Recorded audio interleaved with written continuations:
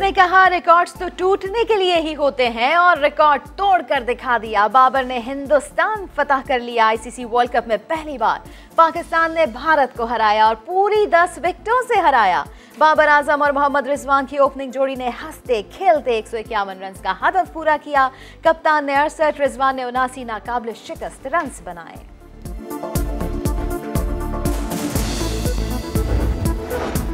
नब्बे की दहाई में एक आफरीदी ने दहशत फैलाई और आज एक और आफरीदी ने भारत को नानी याद दिलाई। शाहीन ने पर फैलाए और भारतीय बैट्समैनों के होश उड़ाए। रोहित शर्मा खेल राहुल और विराट कोहली को पवेलियन की राह दिखाई। मैच के बेहतरीन खिलाड़ी करार पाए।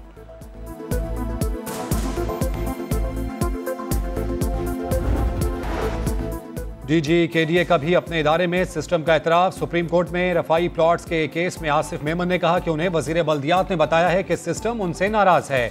चीफ जस्टिस ने कहा कि सिस्टम तो कनाडा में है, वहाँ से काम हो रहा है। जिस पर डीजी केडीए बोले, कुछ सिस्टम यहाँ भी है। वज़ीर अला सिंध मुराद अली शाह भी पेश। सहाफी ने बताया कि अदालत रिपोर्ट से मुतमिन नहीं तो जान छुड़ा कर चल दिए।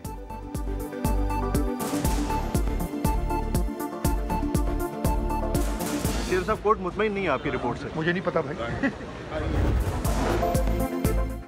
वज़ीर अला बलोचिस्तान जाम कमाल ने इस्तीफा दे दिया गवर्नर ने मंजूर कर लिया। ट्वीट किया सोची समझी सियासी रुकावटों के बावजूद बलोचिस्तान की तरक्की के लिए वक्त दिया।